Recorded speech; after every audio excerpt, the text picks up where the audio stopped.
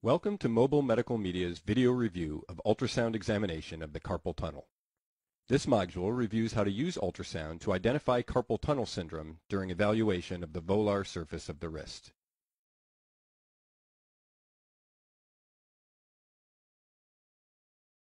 A 35-year-old woman with a history of non-insulin dependent diabetes presents to your office with a complaint of tingling and burning pain over the first three digits of her right hand.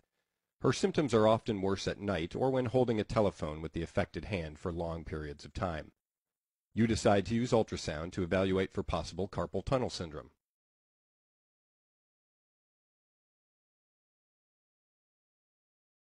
Carpal tunnel syndrome is a common entrapment neuropathy that is caused by compression of the median nerve at the level of the wrist.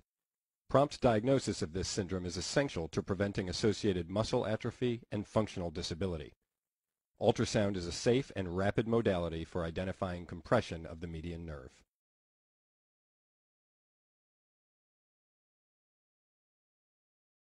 The patient should be in the seated or supine position with the affected hand resting in supination. Using a high-frequency linear ultrasound transducer, begin the evaluation by placing the probe in the transverse plane over the volar surface of the wrist. The carpal tunnel will be found just distal to the wrist crease and extends from the level of the pisiform to the trapezium. In this view, the normal median nerve can be recognized as a round or oval structure with the typical honeycomb appearance that results from the mix of hypoechoic nerve fascicles and hyperechoic connective tissue. The surrounding tendons appear relatively hyperechoic and more homogeneous than the median nerve. Note the flexor carpi radialis tendon radial to the median nerve at the left side of the image. The median nerve can be differentiated from the adjacent flexor tendons by angling the transducer along the long axis of the tendons. This maneuver will cause the tendons to appear relatively hypoechoic due to anisotropy. In addition, by moving the transducer proximally, the median nerve will move between the flexor digitorum superficialis and profundus muscles. At the level of the carpal tunnel, the transverse carpal ligament, or flexor retinaculum, appears as a thin hyperechoic band superficial to the median nerve.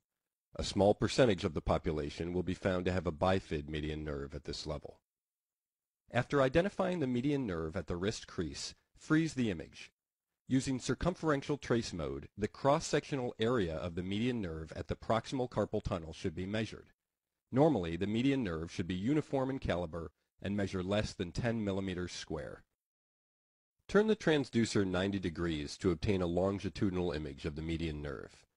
The median nerve is differentiated from the deeper flexor tendons by visualizing the hypoechoic fascicles that are characteristic of a peripheral nerve. Note the bone contours of the radius, lunate, and capitate for orientation. The normal median nerve has a uniform caliber as it courses through the carpal tunnel. Carpal tunnel syndrome may be recognized by hypoechoic swelling of the median nerve at the proximal portion of the carpal tunnel due to intraneural edema or fibrosis. The fascicular pattern that is typical of peripheral nerves may be partially lost as the normally hyperechoic connective tissue components that surround the nerve fascicles become hypoechoic. While a cross-sectional area greater than or equal to 10 millimeters square suggests carpal tunnel syndrome, any enlargement of the median nerve at the carpal tunnel compared to more proximally in the correct clinical setting also suggests nerve compression. Physiologic transverse sliding of the median nerve with movement of the index finger may decrease with carpal tunnel syndrome. In the longitudinal plane or long axis view, the median nerve will again appear swollen and hypoechoic. The median nerve may show an abrupt caliber change as it enters the proximal tunnel, a finding known as the Notch sign. Doppler imaging may also be helpful during evaluation of the carpal tunnel. Intraneural hyperemia may be associated with nerve swelling.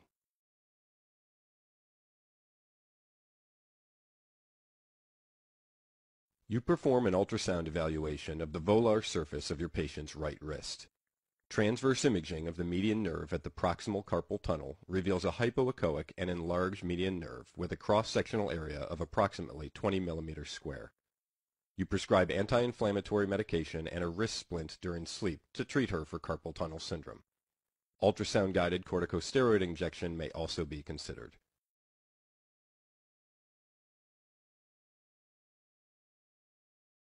A small proportion of carpal tunnel syndrome is due to compression of the median nerve by a ganglion cyst or other mass. Early carpal tunnel syndrome may not demonstrate any abnormal ultrasound findings. A normal ultrasound evaluation cannot exclude the diagnosis of carpal tunnel syndrome.